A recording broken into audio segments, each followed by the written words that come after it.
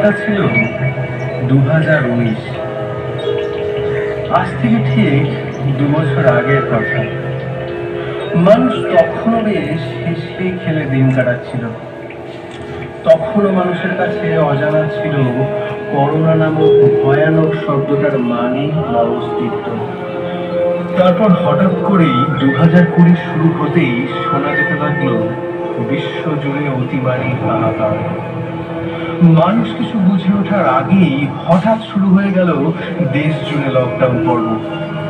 চারিদিকে দেখা দিল ভয়ানক বিশৃঙ্খলা। ধনী থেকে গরিব নির্বিশেষে হলো ঘরবন্দি আর যারা জীবিকা নির্বাহের জন্য বাড়ির থেকে দূরে থাকতো, তারা পেল পরিযায়ী শ্রমিকের তকমা।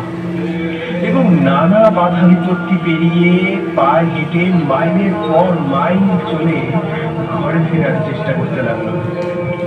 সেই থেকে শুরু হলো বেঁচে থাকার লড়াই বা বলা যেতে পারে অস্তিত্ব টিকিয়ে রাখার অদম্য প্রচেষ্টা জীবনে এলো নতুন কিছু শব্দ কোয়ারেন্টাইন আইসোলেশন যার মানেই আগে কেউ জানত না।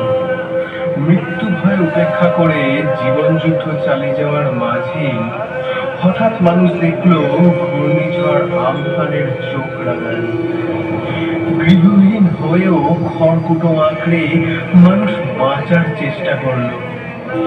এরপরই অতিমারির দাপট কমতে না কমতেই এলো নতুন বছর দু হাজার একুশ। সাথে নিয়ে এলো দ্বিতীয় ঢেউ, তৃতীয় ঢেউ, ভ্যাকসিনের ফার্স্ট ডোজ সেকেন্ড ডোজ আরও না কত কি। শুধু এটুকুই নয়, আমফানের ঘাস শুকোতে না শুকোতে চলে এলো ঘূর্ণিঝড় ইয়াস তবে কথায় আছে শত খারাপের পরও কিছু ভালো দিন আছে। তেমনি সব কিছু হারানোর মাঝেও কোনো সময় যেন আকাশ বাতাস মুখরিত করে আসে শরৎকাল। আর শরৎ শব্দটার মধ্যেই যেন লুকিয়ে থাকে মায়ের আগমন সুর কাশফুল আর শিউলির গন্ধ জানান দেয় মা আসছেন। নাই বা থাকুক আতিশর্য বা আভিজাত্যের স্পর্শ, হোক না ভাঙা ছাদ চটে যাওয়া দালান। সাধ্য সীমিত হলেও তো অসুবিধা নেই। অল্প আয়োজনেই স্বল্প ক্ষমতায় মাতৃবন্ধন তো করাই যায়। আজ জগৎ জননী দেবী দুর্গার কাছে আমাদের এটুকুই নিবেদন। মহামারী দূর করে মাগো সুস্থ জীবন দান করো।